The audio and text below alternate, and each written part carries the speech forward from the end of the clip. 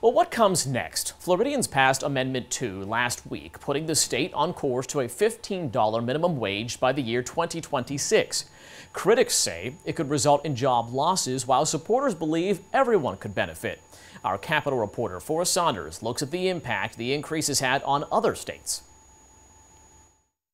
A path to $15 an hour has Francois Paul smiling. I have the most hardest and important job of caring for the ill. The CNA is one of 2.5 million Floridians expecting a wage boost, a major improvement from her hourly $10. You cannot support a family with those wages.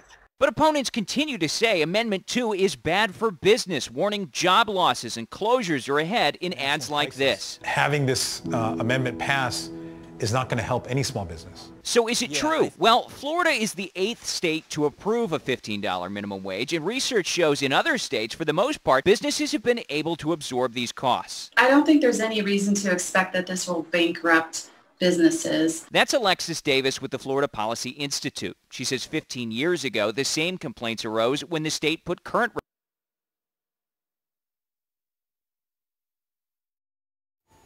And while there are some concerns, the GOP-controlled legislature will limit the new amendment, approving exemptions for some businesses in the upcoming session.